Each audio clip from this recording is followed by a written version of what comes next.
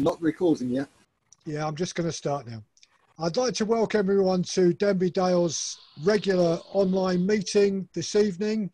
Uh, really pleased that we've got Heather M0HMO from Shropshire, uh, who's going to give us a talk about uh, high altitude balloons.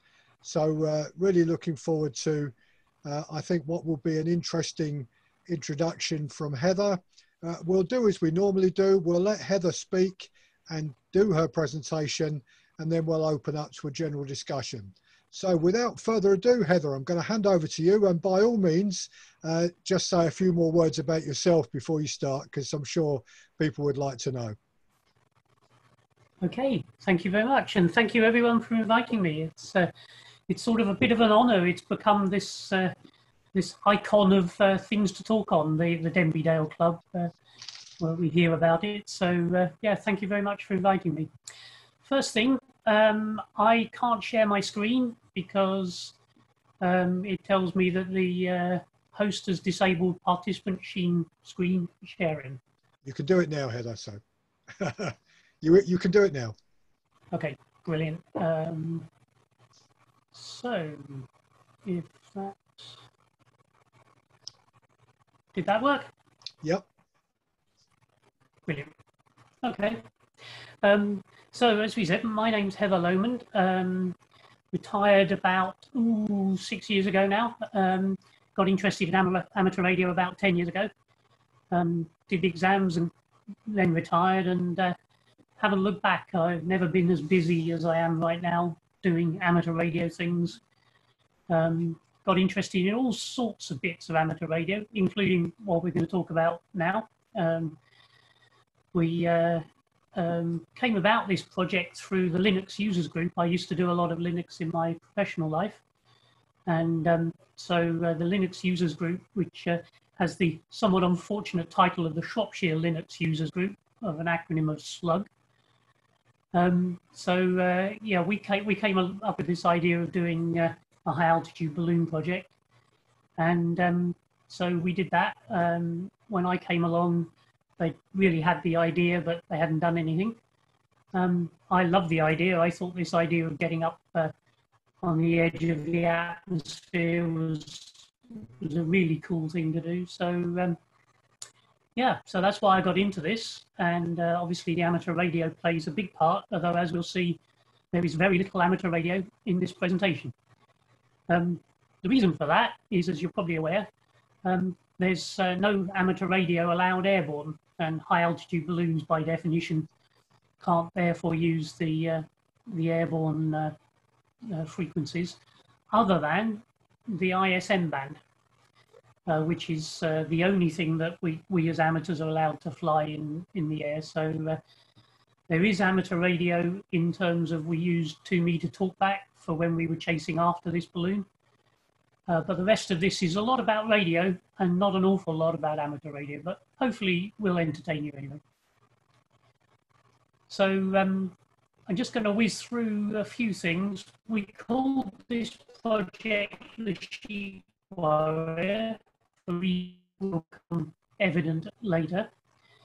And uh, we didn't want to just stop with just putting up a balloon, so we developed a whole load of other things involved uh, with the tracking of these balloons to try and get them to uh, land. Well, we, we can't control where they land, but we can go and find them when they have landed if we can get the telemetry to uh, tell us where they are.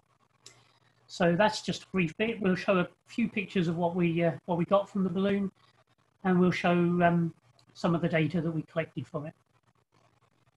So uh, that's an overview. Sheep Warrior is the actual balloon itself. Uh, basically, what we've got here is a large latex balloon with a payload with a transmitter on it underneath.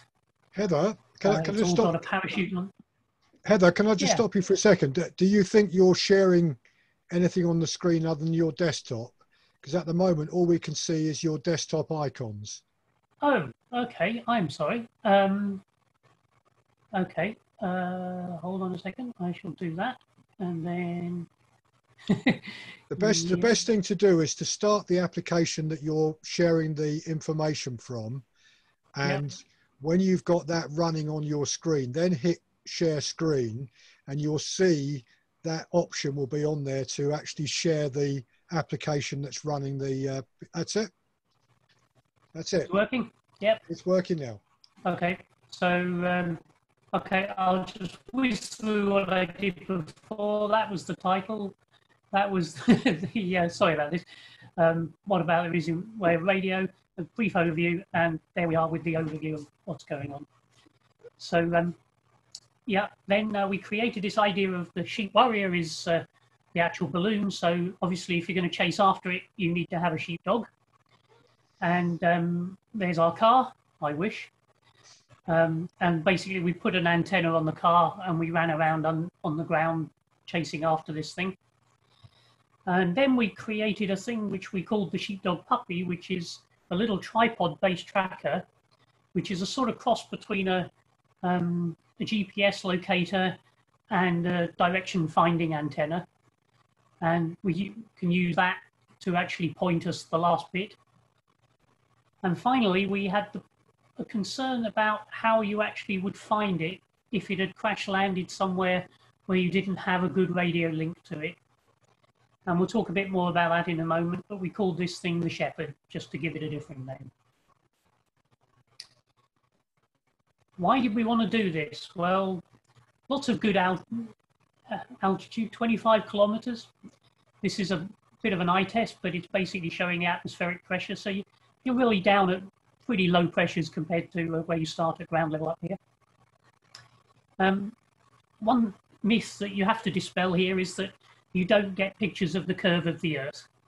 People seem to think you do, but that's always due to camera aberrations because lenses on these cameras aren't very good and they make things look curved when they're not. Um, but we did want to do some science and really, the main reason for doing it is it's quite a fun thing to do. And so we're doing it because we can. So a little bit about Sheep Warrior. It's based on a Raspberry Pi Model B, programmed in Linux. It's got a GPS uh, tracking board from a company called Pi in the Sky, PIX. Uh, it's got two radios on it. We'll talk a bit about them in a minute.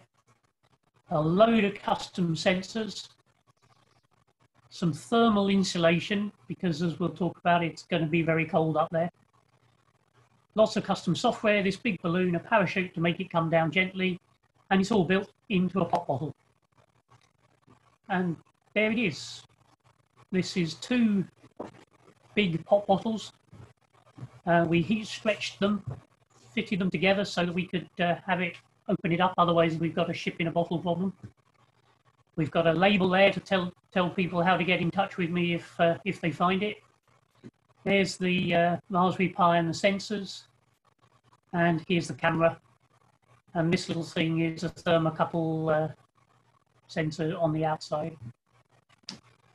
We used uh, a slightly novel technique here to keep the thing warm. We've got little uh, polystyrene quavers at the bottom here and some polystyrene that we actually wrapped around the whole thing when we flew it.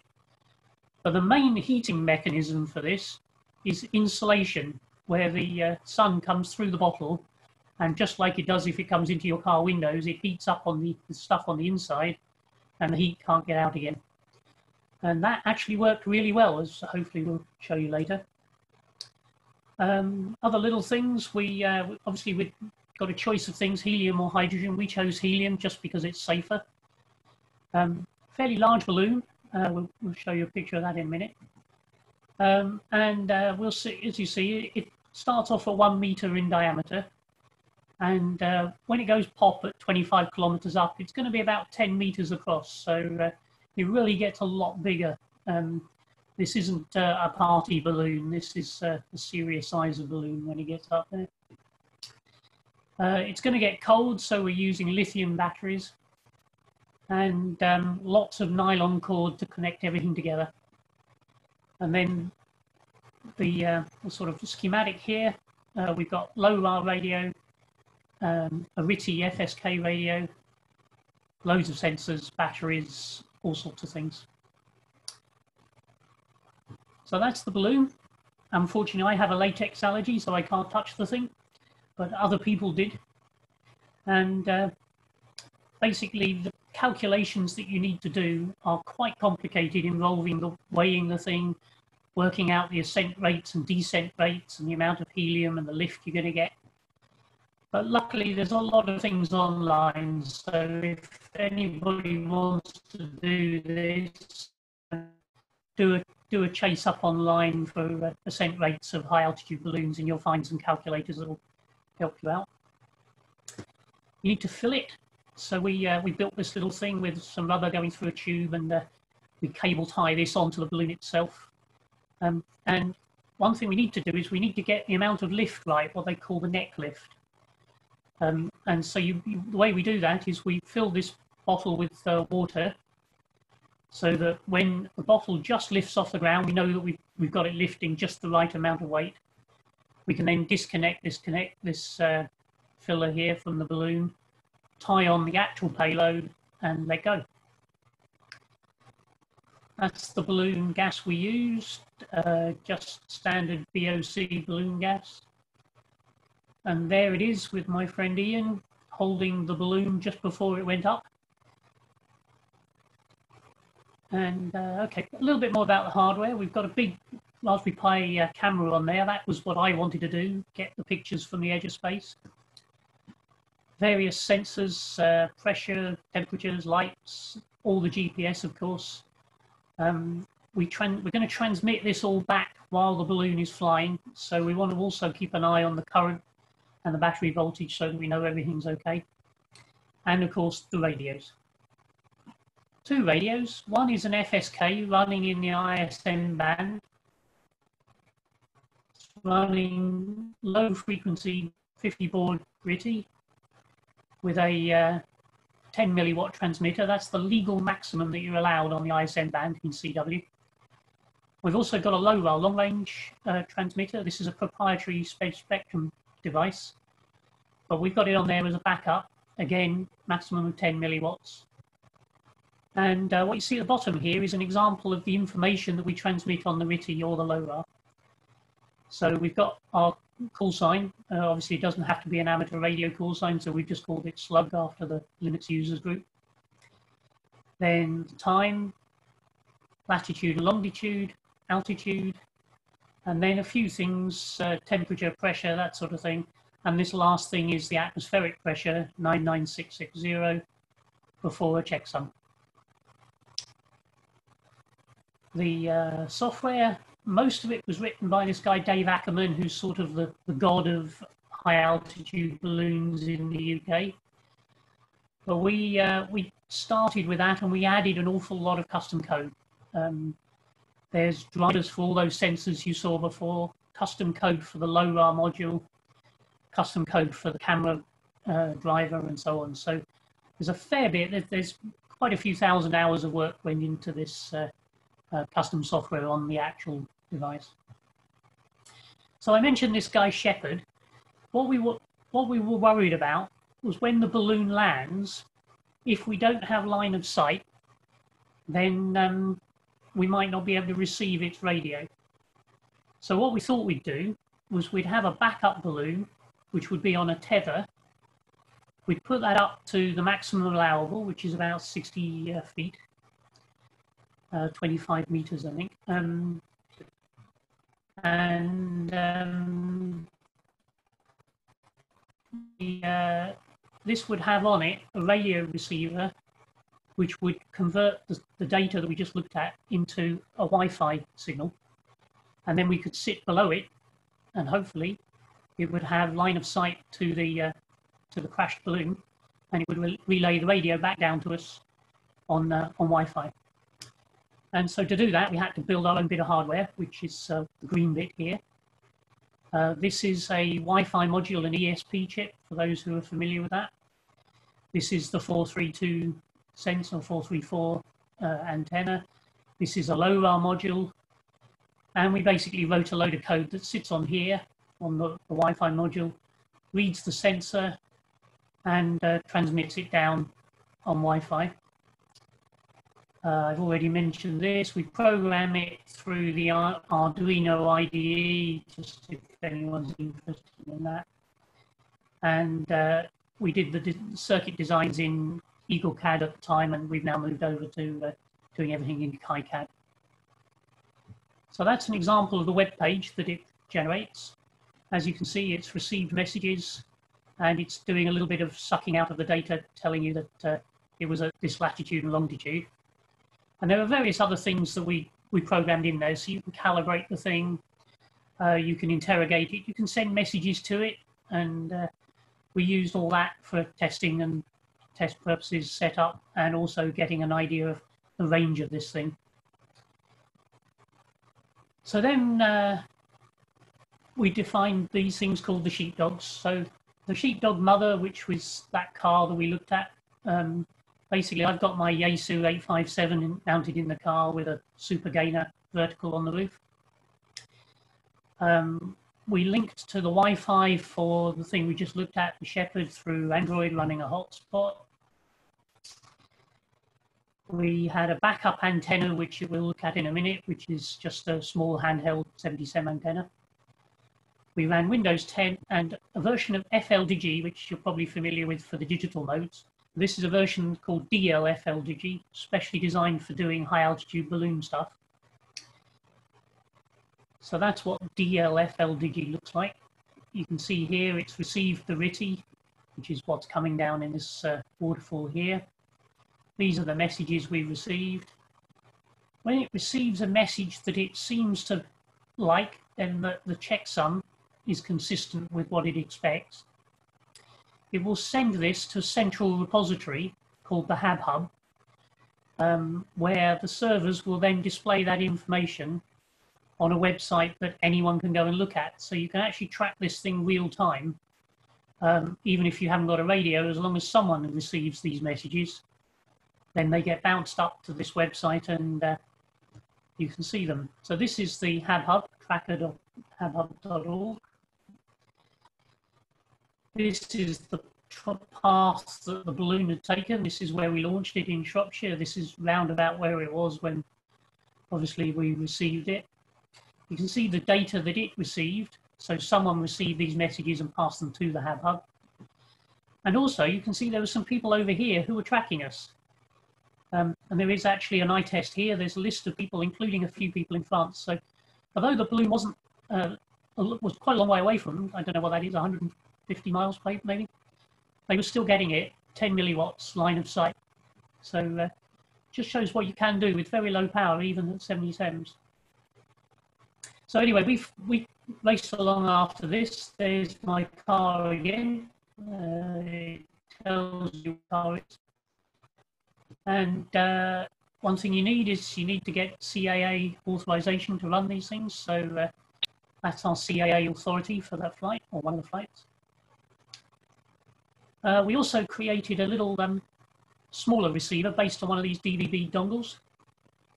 Again, uh, we had it running the Android as a hotspot with a homebrew antenna, uh, the SDR Sharp program, and the rest of the uh, or virtual audio cable, which I guess you're familiar with, and the uh, FLDigi for the, the decoding again. And that worked fine, and, and one of our uh, other chase cars was using that very successfully. There's a picture of what the LoRa and the SDR Sharp look like. The uh, obviously the RTTY on the left here, and the LoRa spread spectrum just comes in bursts, and you can see a lovely square uh, spectrum there. So it really is doing quite a solid job of uh, passing information. Um, other software we had GPS loggers that uh, I wrote for the car, and um, we had a, a, mechanism of taking that live data, putting it on websites, and displaying another version of the, the position plotting on our own live websites in case the, uh, the HabHub thing wasn't working. Uh, little bits of hardware. I put a GPS sensor and a USB sensor into a box to cart that around in the windscreen to uh, know where the car was. And a little uh, um, 12 volt to uh, USB power to power all these uh, Android things that we were running. So finally, we talk about the Sheepdog Puppy. Um, this is based on an, uh, an Android tablet, some sensors to tell it where the uh, antenna is itself, and this is a accelerometer and a, a um, magnetometer.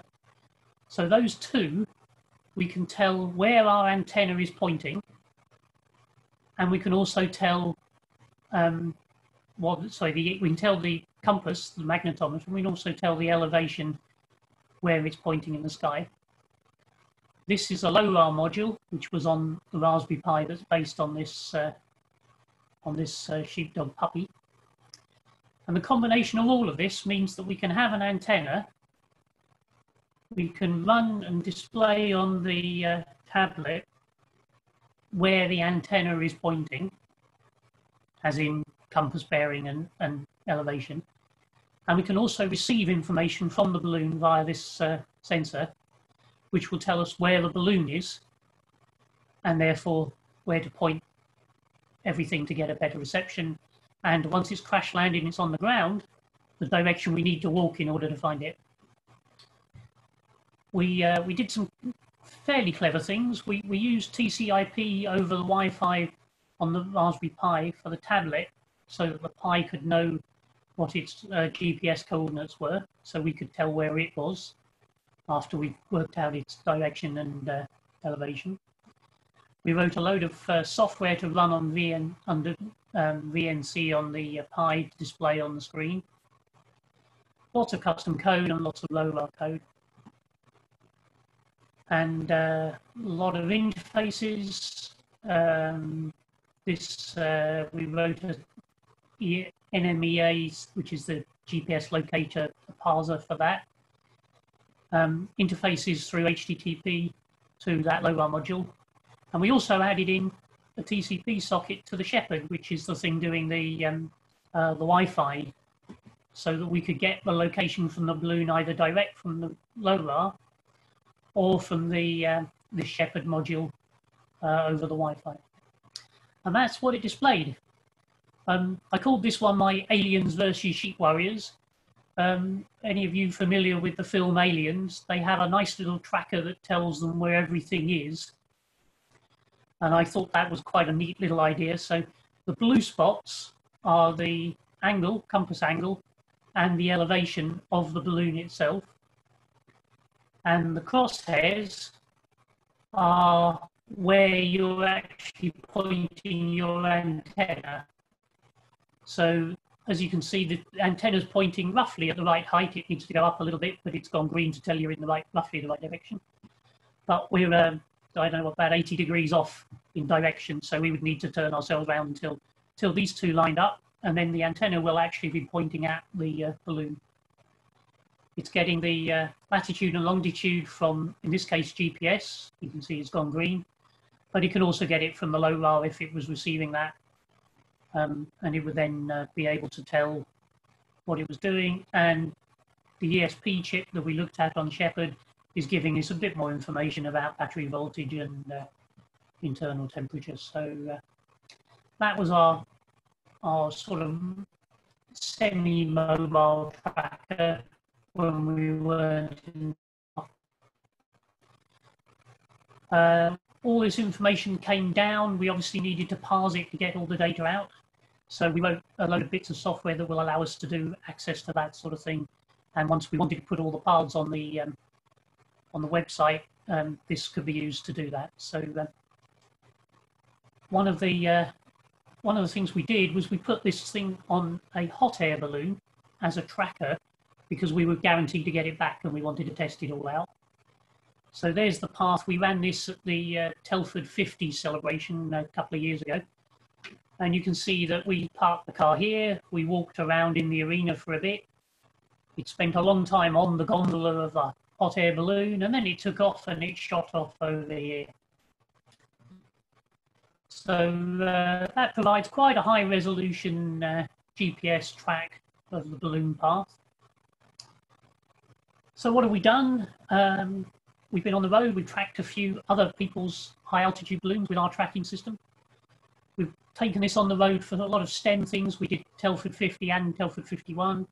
We've been to the Cosford Air Show a couple of times and we've displayed it there to uh, try and get people interested.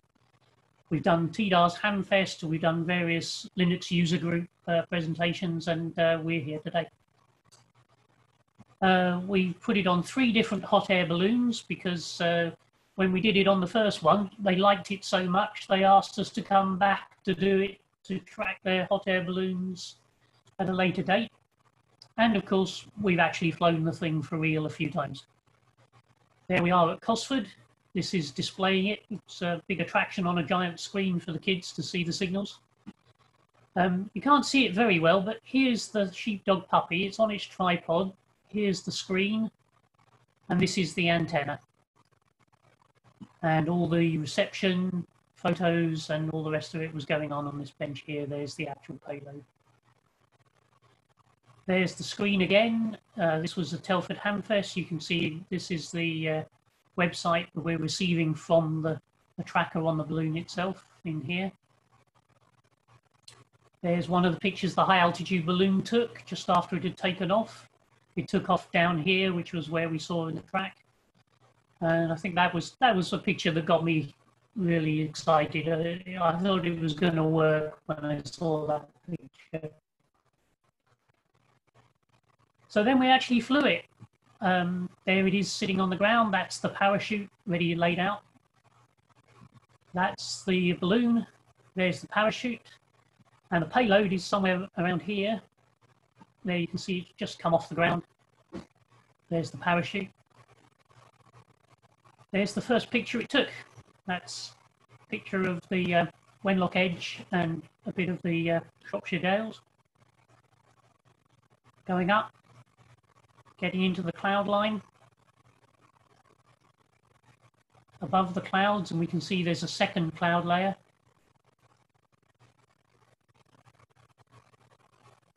Going up, going up gone through the second cloud layer. This is about uh, 20 kilometers up. Still going up. Still going up. That's almost the highest point, and uh, this one is the highest point. You can see we've got quite a nice black of the sky here. And you probably can't see it, but just here is a picture of the moon. But uh, yep, so uh, I was quite pleased with that. And uh, then obviously got it to its up absolute height, and it went through the um, the jet stream, and he did a rather nice little pirouette inside the jet stream. The uh, green lines are tracks from people who were receiving it. These two were down in France.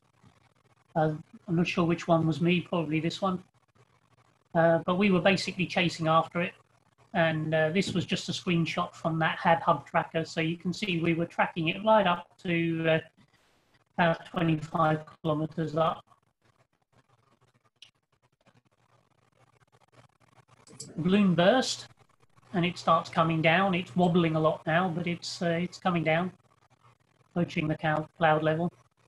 And there's a picture of it. This is London. So it went quite a long way from Shropshire to uh, the outskirts of London, Twickenham bit of the data. We started off atmospheric pressure at uh, 100,000, whatever that is, Pascal, whatever it is. We went up, so the pressure came down, and then we came down quite a lot faster than we'd gone up.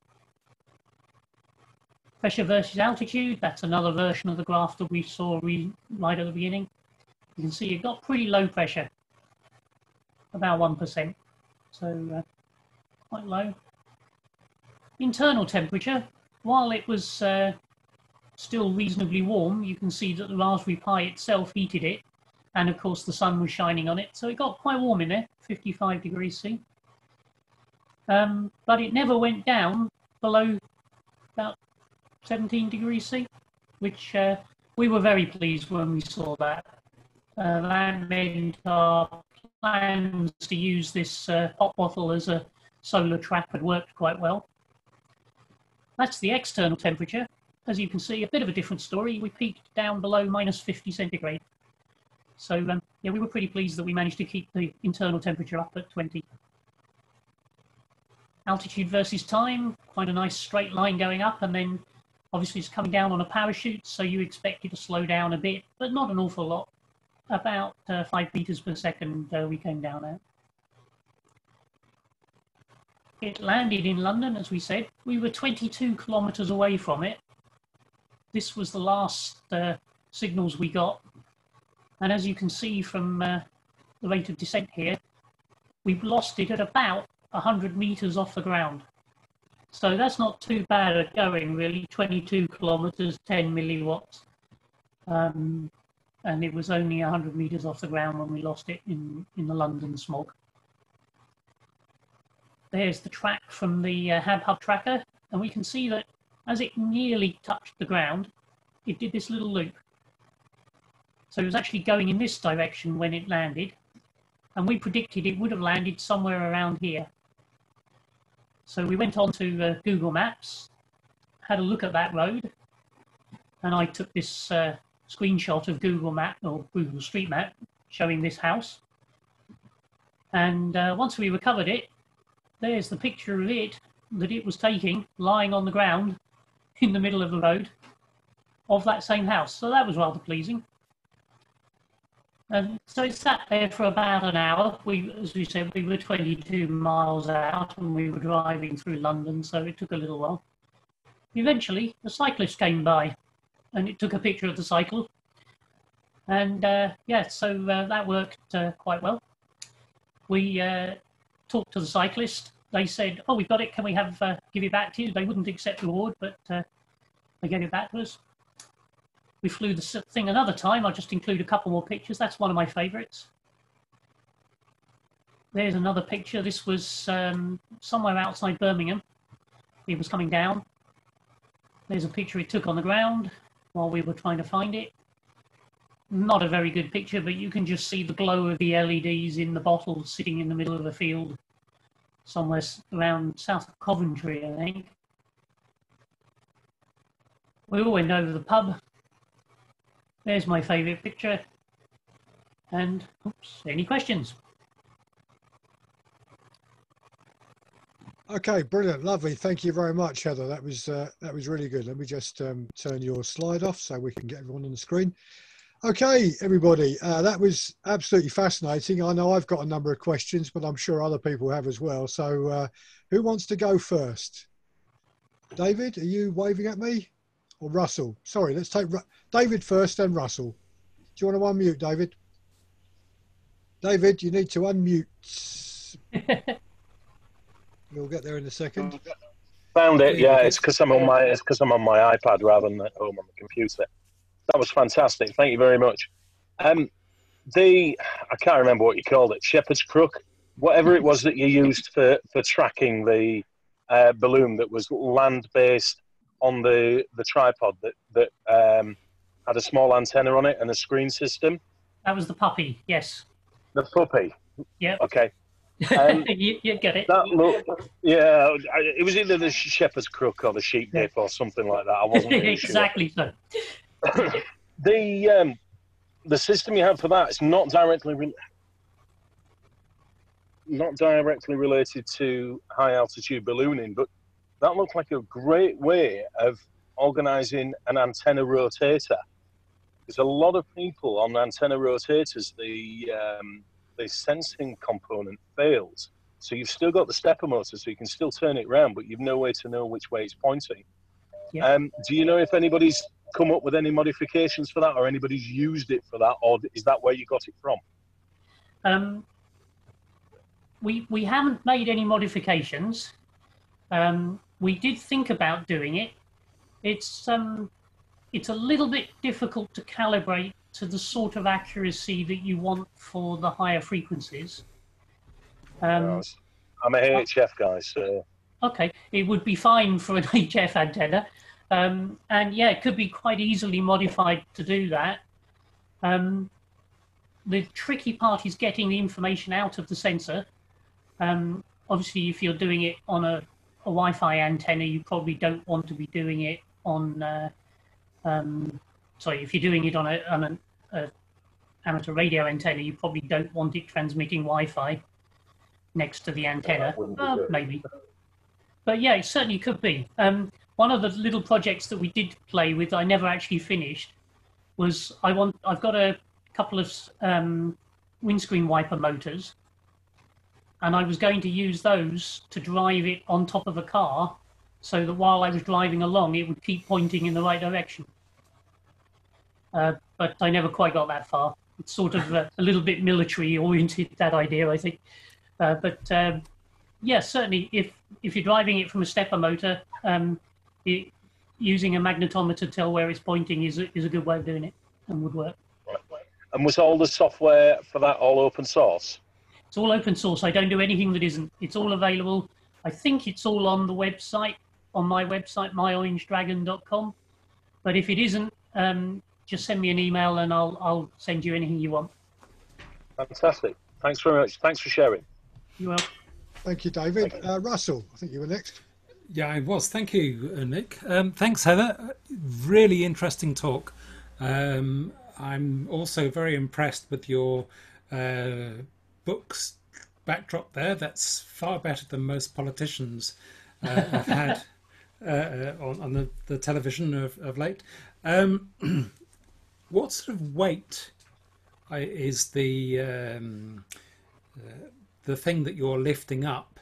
Um, I, I ask this primarily because, like Dave, I'm uh, an HF man, and I always have this fantasy about being able to lift a uh, 160 meter DX antenna up with a balloon. um, 60 litres up for a balloon. Yeah, okay. yes. Hang on a second. I'm just scrolling back through this presentation because I can't remember the answer, but it is um, 1.3 kilograms. Okay, so that's that's fairly heavy. And, Yeah. uh, and and and which which of those balloons that on that website were you using? Um, the uh, we we actually used um, this one, which was a, a 1600 gram one. Okay, Sorry, you can't see that, can you? No, you can't. no, I can't. Sorry, but, but I can. sorry, yes, uh, my mistake. Um, it, yeah, it's a it's a, a 1600 um, gram balloon uh, Okay, which- and it used um, about one and a half bottles of helium. okay. So that that's the one that's about ninety five pounds Yeah. sixty two. Yeah, cool. Yeah. F- Um, Fantastic. Expect me on uh, 160 meter DX soon. Okay, we'll look forward to it.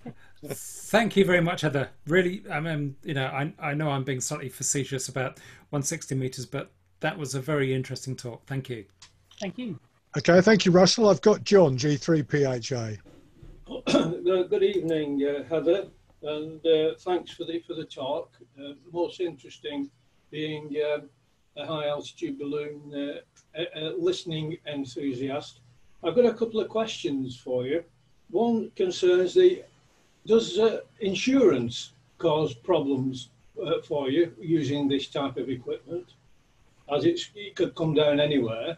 And I take it that the the gondola, if I could call it that, the payload, which is suspended from the balloon, is quite a distance from the balloon and is suspended by its tether.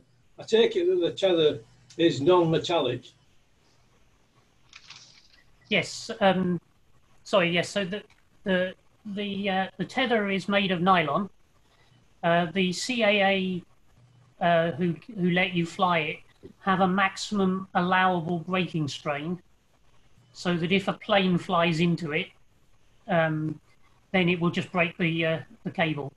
Um, so it's actually very thin. Uh, it, it's actually jewelry jewelry making um, nylon that people use for uh, making these uh, wristbands and things like that. Um, so yeah, the tether the tethers for all of these things are, are um, uh, very low breaking strain, so that they will just snap if anything runs into them.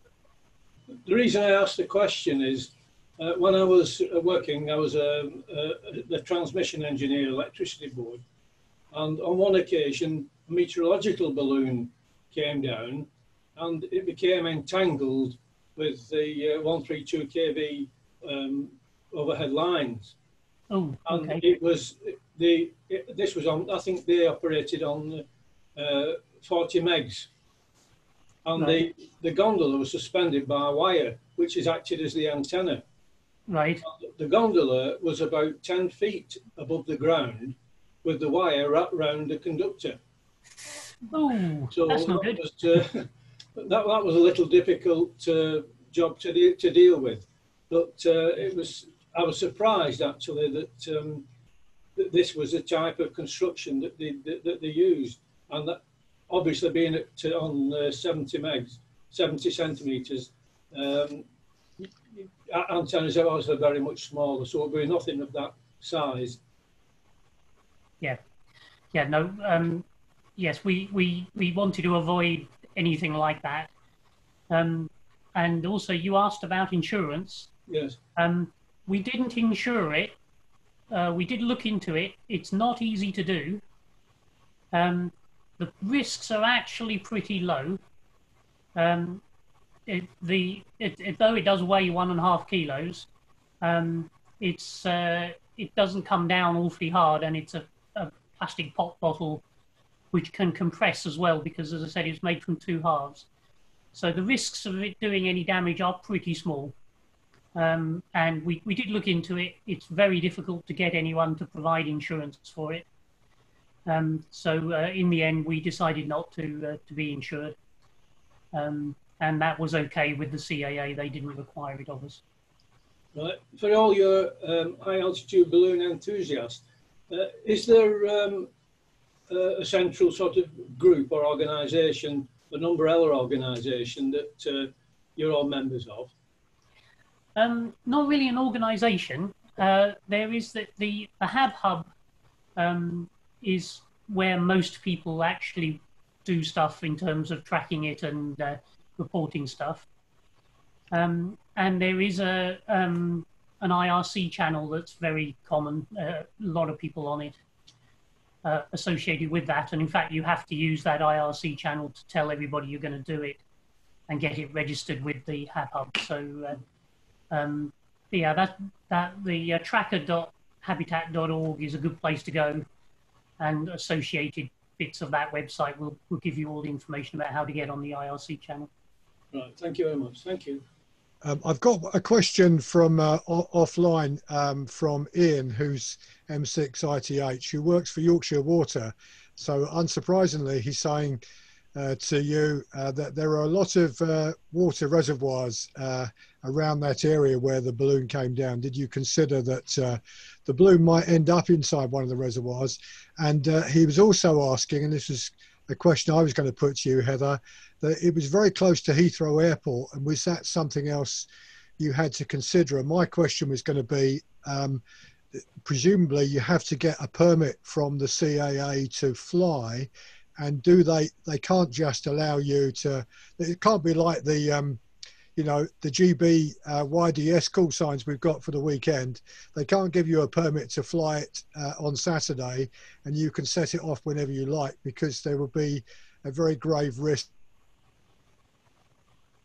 that some pilot suddenly sees this massive balloon in front of them and gets extremely concerned. So how is how is all that bit of it managed, Heather? That was, I think, the second part of uh, Ian's question there.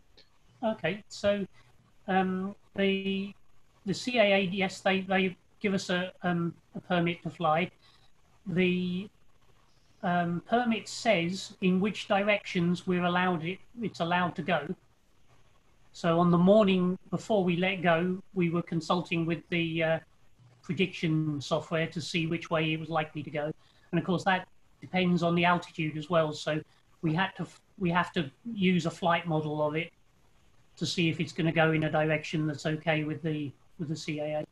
We actually had five different slots allowed to us, and we only managed to fly on two of those.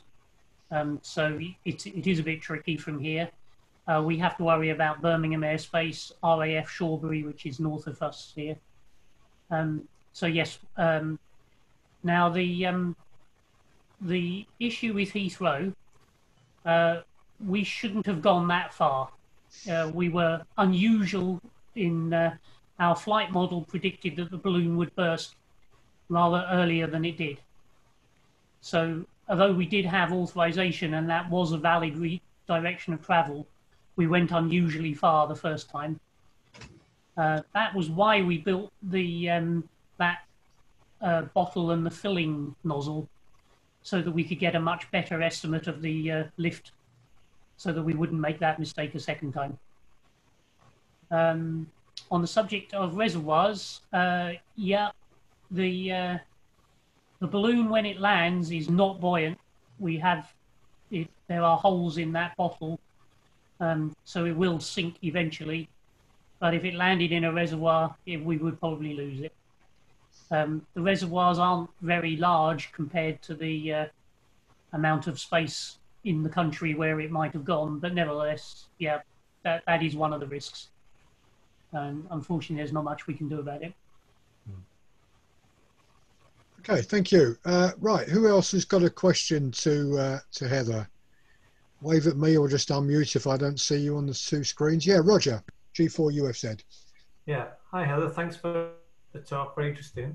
Uh, I wonder, is it a very collaborative or a very competitive environment? You know, you, you talk about all the software, presumably the whole team of people and and all that. Does it is it collaborative or is it, you know, you're you competing for how far and how, how high, etc., etc.? Um, not really. No, um, it's it's uh, it's not competitive. Um, I think there's quite a few people do it. Uh, we we all just do it for the fun of it. Um, we uh, we uh, it is collaborative. Um, as you saw, there were quite a few people involved. Uh, Ian helping hold it. He wrote some of the software. I don't know if John Alexander is on. He's um, I can't see him, but anyway, John Alexander, who's here today, uh, he did some uh, some of the testing work, and he he provided some of the, the hardware. Um, and uh, yeah, we, we, as a Linux users group, we did quite a bit. my partner is behind me, uh, sorry, behind you, um, waving to me to say he helped a lot. He did all the driving and a load of the, the, the, mechanics of it. So yeah, we did a lot of it together. Um, my my role was mostly the software and uh, getting it all working because I was the one that was enthusiastic, I guess. Thank you. Okay, thank you, Roger. Uh, yeah, Jim Mockley, W7JMM. Uh, yes, hi. Thank you, Heather. That was a very interesting uh, display, and uh, uh, I'd like to learn more. You mentioned you had a website. Uh, could you give that out so I could maybe yep. research this a bit? It's uh, www.myorangedragon.com. Thank you very much. It's um, there's there's all all the stuff I do is on there, but uh, it's under amateur radio and then HAB high altitude. Um, and if you want anything else, uh, there, there isn't a lot of detail there, uh, but just get in touch with me. Um, the my email address is heather at myorangedragon.com. And uh, yeah, I, I, I, love to talk about it, as you've probably gathered. So uh, yeah, just just ask questions, and uh, next time we're flying the thing, we'll let you know, and you can come along and join in. okay, okay well, thank you very much. Yeah, a little little tough for me to participate. I'm across the pond, so. ah, okay. Sorry. Yes, I should have guessed, but okay. Yes. Okay. Okay, thank you, Jim. I've got a question for you, Heather, uh, from uh, Keith M0KIL. Uh, he's written IIRC Datong did a car-mounted Doppler DF system that was used by the police. Have you considered anything like this? Uh, wow. Um, car-mounted Doppler direction finding. Um, no. Uh, what what I as I mentioned earlier to uh, um, I'm not sure who was it Brian's question. Um, the uh, we did look at using this um, uh, mobile with the, um, the sheepdog puppy, which uh, would be based on a couple of motors uh, driving the antenna around, and um, that would sort of do the same thing, but as I said, the, the mechanics and the electronics and the software is quite advanced for that. And uh, in the end, as we found out, just a vertical on the roof does a very good job of receiving everything. So uh, we didn't go that far. But uh, yeah, these are all good good things to think about. Um, and uh, yeah, maybe the next one we do, we'll do something similar. Okay, brilliant. Thank you. Darren, G0BWB. Yes, uh, good evening, and thank you for a very interesting talk. Uh, a follow up talk, actually, to one we had um, about 15, maybe 20 years ago. um, back in those days, there certainly weren't um, the Raspberry Pis, etc. And uh, the one main concern was getting the payload back. And it was basically uh, DF finding when the thing landed. As you say, you got a basic idea where it was going to land, but uh, uh, not very accurate. So uh, I just wonder how often do you lose the payload? Touchwood, we haven't lost one yet. Um, Good stuff. the the, uh, the um, community, the, as I said, mentioned this IRC channel, um, they think it's probably about 5%.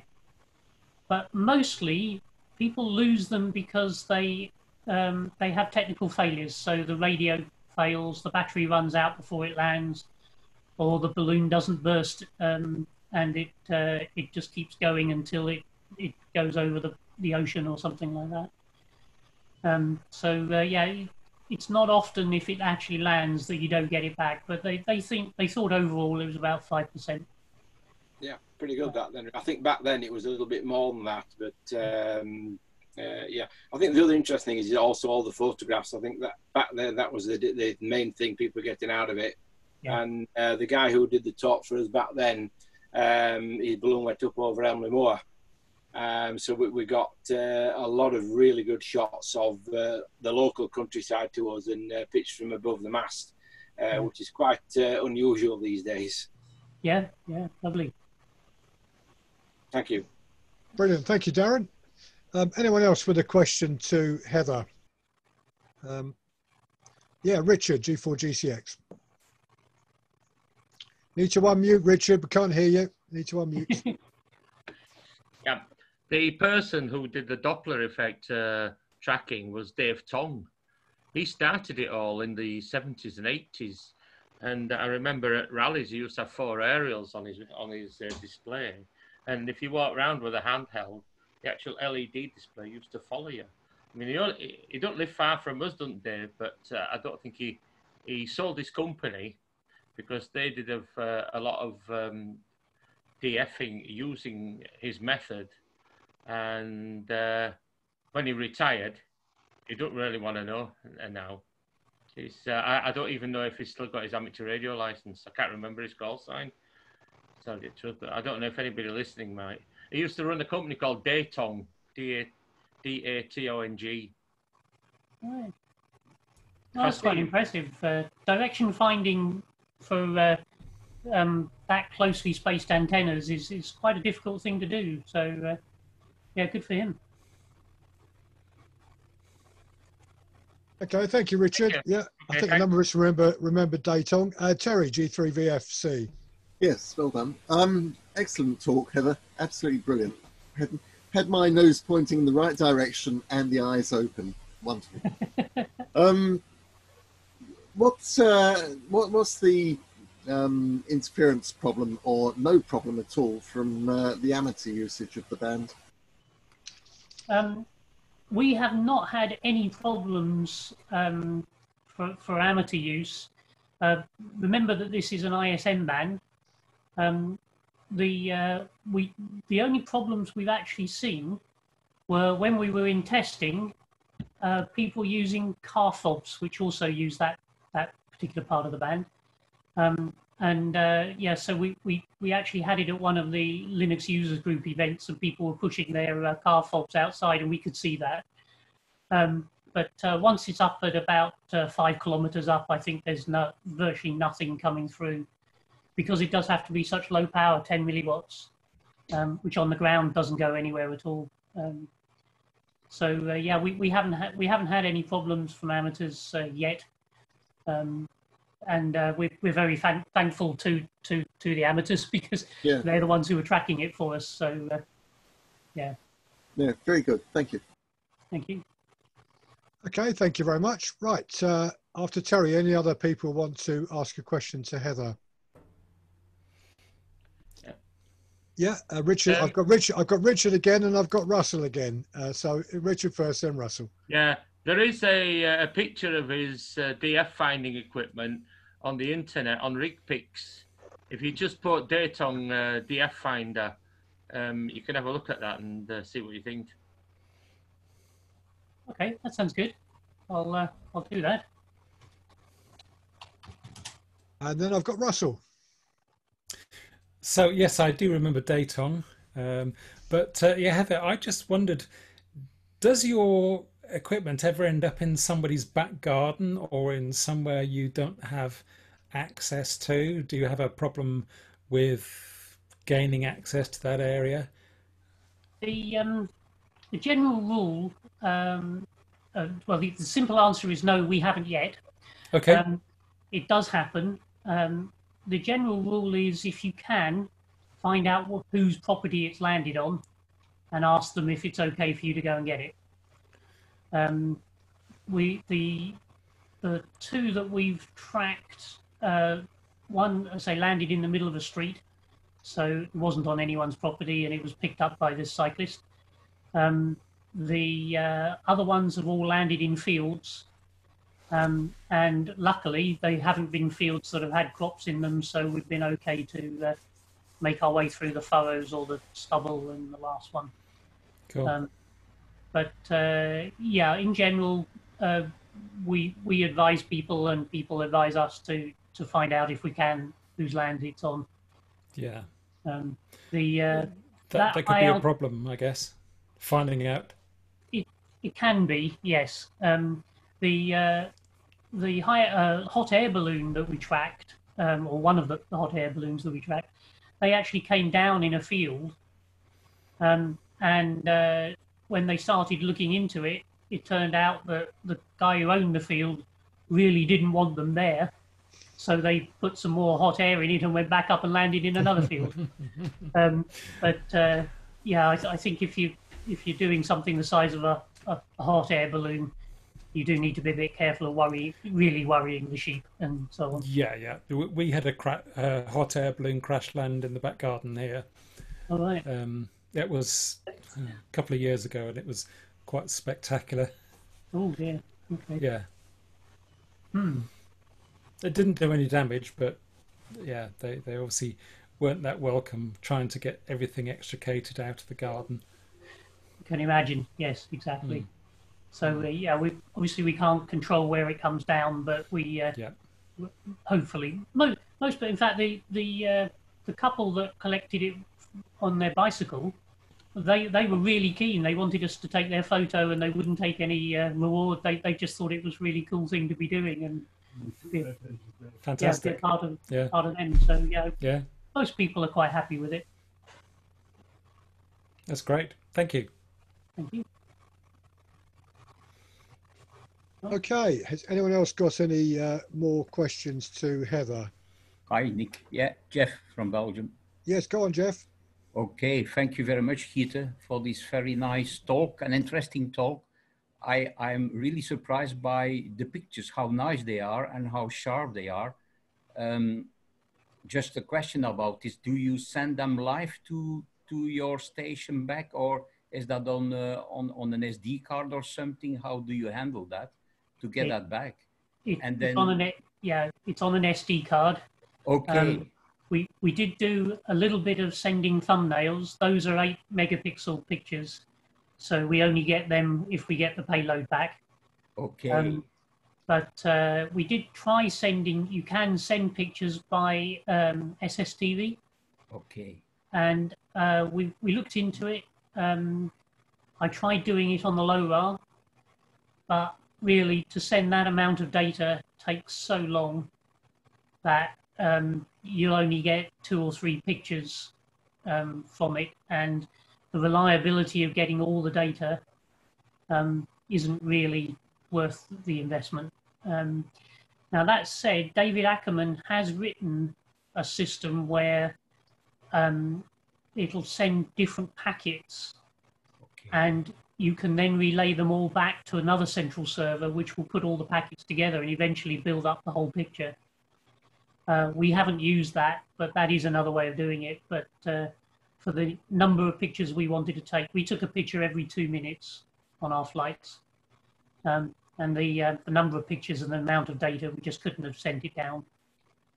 Uh, which Okay. did lead to one thing. My my intentions for the future is I'm going to put one of these 5.6 gig drone cameras on and try sending data from uh, from that. It won't last very long because they're very battery hungry, but uh, we could at least get a, maybe 20 minutes of uh, flight time uh, from a 5.6 gig uh, drone, which also works in another ISM band. So uh, we obviously allowed to fly drones in the air.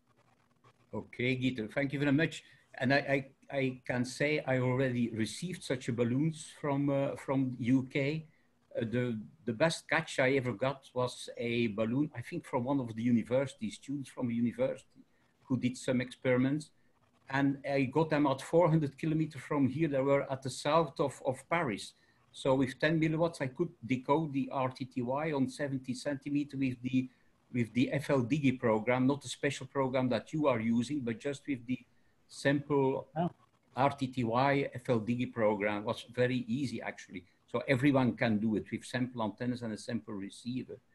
Um, another thing here in, in, in the Netherlands, there is a yearly event in September where they launch a balloon with a, uh, it's a fox hunting exercise actually. And they're hunting a balloon with a crossband repeater, uh, 70 centimeters, two meters, and with an ATV repeater on it. Mm-hmm. And so all the amateurs, and well, a lot of amateurs in, in the UK, sorry, in the Netherlands and in Germany and in Belgium are hunting and listening for this uh, balloon. Sometimes this balloon drops down in, in, in, in Germany or so. So the people are just hunting with the cars and, you know, are hunting this, um, this uh, balloon. It's every year in the month of September um, and sometimes they also get reception reports from the UK. So uh, this is something which is really fascinating. I don't know with the COVID how this will happen this year. There will be a different story, but anyway, maybe could be something to look uh, out for. Thank you very much, Heather. Yeah. I hope to see, hope to hear you more from you. Thank you very much, Jeff. That's really interesting. We, we, uh, yeah, we, we could do something like that. I, I think that now we're allowed to travel in the UK with the COVID thing. Uh, that, that, might be something we could consider uh, doing. Yeah, I like that idea. Um, yeah, thanks. Okay, thank you very much. Uh, thank you for that, Jeff. Um, right, any other questions to or comments from to Heather? No one. Yeah, I've got John G through PHA. Uh, hi, Heather again. Um, in view of what's uh, transpired inspired in the question and answer session. Um, is there a need, do you think, for an emergency device uh, attached to the balloon in case you get into sort of some kind of serious difficulty a lot? Um, I'm not quite sure what how what what you mean by there. I mean, how would it get into difficulties? Well, if it's uh, going into uh, sort of a, a, military site or over a military site um, and in an area where there's a lot of aeronautical activity that's going, it's, it's not been planned for. And you think, well, we're better abort at the attempt rather than waiting for the balloon itself to burst. Right. Um, some people have done it. Um, I did actually design a little thing. Um, as I mentioned, the uh, balloon is attached to the payload through a nylon cord. So if we just wrap a little bit of fuse wire around it, and then we could put uh, all the batteries through that fuse wire and melt the nylon cord, and then the, the payload would just drop off. Um, yeah, it could be done. It could be done quite easily uh, if we had a way of communicating with the balloon um, reliably to tell it to do that. Uh, we haven't developed that yet, although as I did mention, I think briefly, the uh, we can talk to the LoRa from the uh, the Wi-Fi gateway. Um, so uh, yeah, that's something we could do. Uh, as I said, the, the, CAA do try and make sure that you're not going to go anywhere bad, uh, but uh, do things do go wrong, as you heard with um, going a little bit near Heathrow. Yeah, but if you're to sort of twenty thousand feet or so, um, you, you, can't control the thing. You, you're at the mercy of, of nature and the weather, aren't you? Exactly. So uh, yes, um, we we do quite extensive um, planning. Uh, there's there's quite a lot of uh, flight path analysis tools. So that So there's a reasonable guess about where it's going to go if you've got your maths right. Um, and oh yeah, that yeah, my partner's just muttering over here. Um, it, it goes to 25 kilometers, so about 70,000 feet. It goes through the uh, aircraft flight paths very, very quickly. It's only there for literally minutes. Um, so the chances of interfering with anything uh, that's likely to be a problem are quite slim. Uh, but uh, yeah, we could we could build a, a an auto detached system in there. Um, we haven't done so yet, but it could be done. Thank you. Uh, there's a question on the chat uh, for you, Heather, from Julian G7FQE, and he was just pointing to a video board um, add-on for a Raspberry Pi and wondered if you consider uh, putting a video transmitter into the payload. Oh yeah, yeah. Um, yeah, we could do. As, as I said, I, I have mentioned, well, we, we have talked quite seriously and got some designs together for a, uh, um, a drone FPV system. Uh, I don't know what, I just have a quick look at this one. Uh, yeah, this is this is quite reasonable. It's not extremely high resolution, but uh, yeah, it could be done. Could be done. Um, what sort so, of uh, download yeah, I, I band, would, bandwidth do you have? Um, Sorry the the download bandwidth for the uh, for the LoRa is is low. It, it, wouldn't be anything like this capable of video. Uh, but a 5.6 drone system, um, we we run um, certainly VGA and probably higher in uh, 25 frames a second video. So uh, we've we've easily be able to do it if we did that sort of system. Um, whether the 5.6 gig would go far enough well, I don't know. I, I on doing terrestrial 5.6 gig, we've done TV over 120 kilometers with no problem at all. So 25 kilometers line of sight should be quite easy.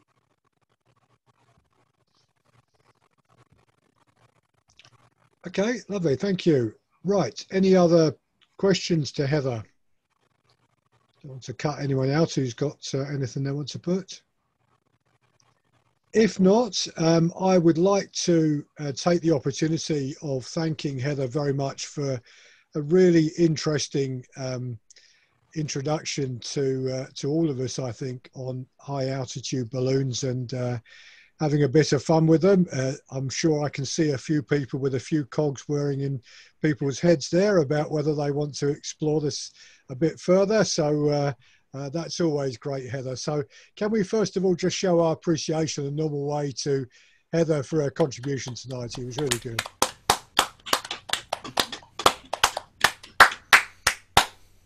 And uh, and Heather, just to say before you disappear, that that was really interesting. We we all enjoyed it, and uh, uh we we look forward to uh, hearing you at uh, at future events, giving presentations. I know that uh, we've got you down to speak. I'm going to do another plug for it, guys. we've got you down to speak at the GQRP Club convention on the weekend of the 5th and 6th of September.